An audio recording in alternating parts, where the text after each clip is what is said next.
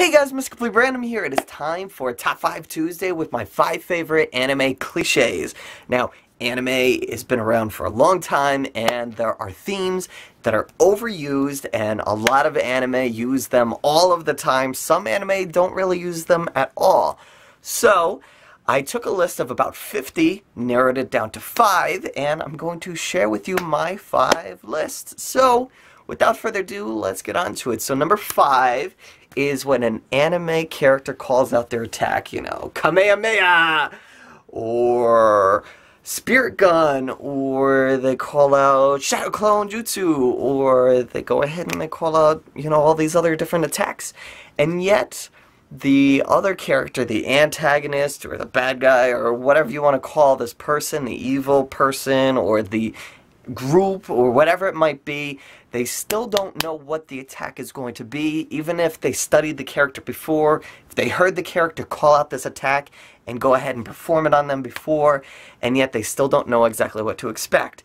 And that is one of those anime cliche that is around in every single anime Number four on my list of anime cliches is when the main characters sit by the window in the classroom. And it's always, always, always the main characters, besides them sitting in the back of the classroom, they also sit in the corner right near the window. There's always a window in the classroom. They always sit right by the window, and they're always in the back, way, way back and it just seems like maybe it's just the way of constructing the whole entire classroom where if they're having a conversation then they're really not heard by the teacher and you know they could get away with some stuff but it's always if you watch any anime where it's taking place in a classroom for a small period of time just look where the main anime characters are and they're always right in the back right by the window almost always, like, I would say like 90, 95% of the time, they're always back there. And I'm to just post maybe a few photos, and that way you guys can see.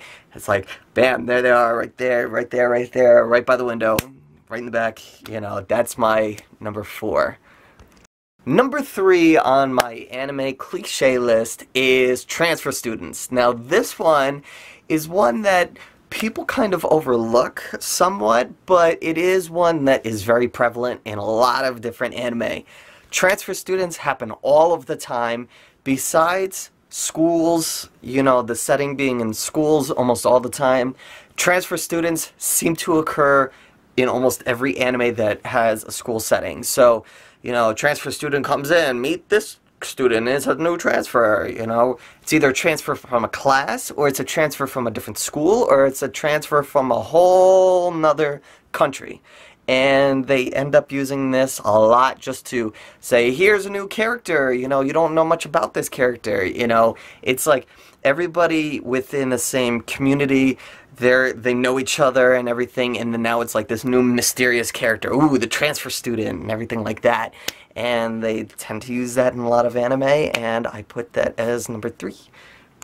Number two on my list of anime cliches is of course the overly done emotions. And Japan is very famous for this when it comes to like anime and other shows where they go ahead and they outwardly show the emotions, whether it's oh my god, I see my crush nosebleed and like you see the blood just like spewing out of the out of the nose or it's when the character is just kind of you know shocked and just freaking out and going like what the heck are you doing?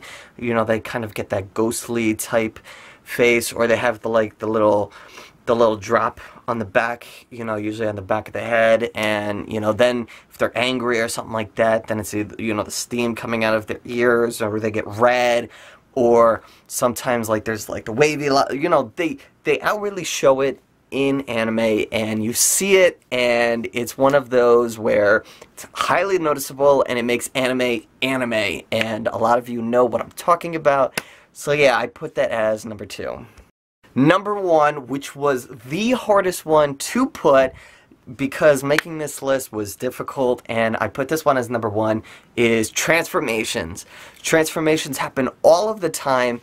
It is most notably, you know, in Dragon Ball Z, in Sailor Moon, in just so many other ones. I can just go on and on and on. Those are like two really, really big ones that I just thought of like right now, and I could probably list a whole bunch of other ones, but transformations are a part of anime. They show leveling up, they show greater power, they show a new technique or a new ability, or they show just a new a whole new persona or a whole new character completely. If you've watched DN Angel, which is about one character who transforms into another character, his it's Daisuke Niwa who transformed into Dark Mousy, he, you know, it's just one into the other, and they're two completely different characters. They're aware of each other, but, you know, it's just one and then the other. And then it's like in Dragon Ball and Dragon Ball Z and all that other stuff, you know, they go ahead from Super Saiyan, Super Saiyan 2, Super Saiyan 3, etc., blah, blah, blah.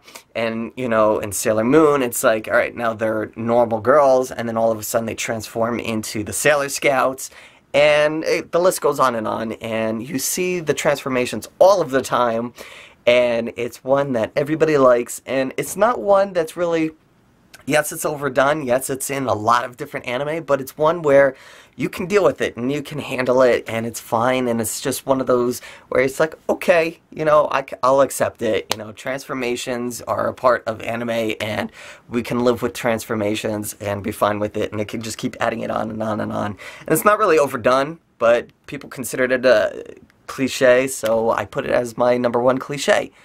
So that concludes my list of anime cliches. I hope you guys enjoyed. Put in the comments below what your favorite anime cliches are. I want to hear from you guys and tell me what you guys think of my anime cliches, what what you think of mine.